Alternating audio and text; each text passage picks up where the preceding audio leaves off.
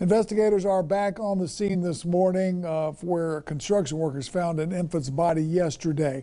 They found the remains in a pile of dirt in Wewahitchka where they're building a fast food restaurant. As News 13's Jake Holter tells us, Gulf County Sheriff's officials are doing everything they can to figure out more details.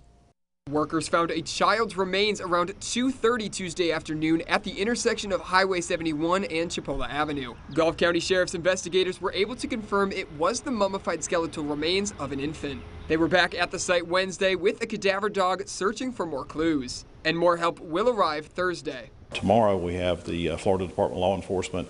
Um, their crime scene lab will be coming in from Pensacola. Um, they have a ground penetrating radar system that will be able to examine down into the soil and the area, detect potential uh, anomalies there. We'll go in there and uh, explore those, excavate that area there, and uh, sift through it.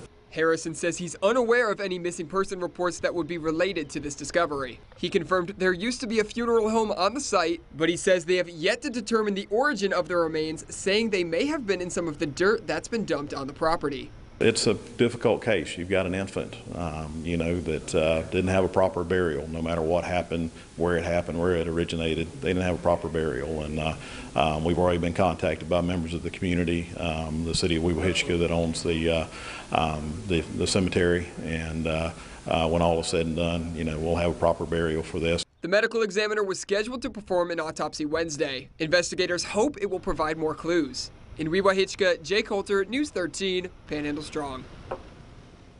Harrison says if necessary, the remains will be sent to experts at the universities of Florida or Tennessee to gain a clearer picture of what happened.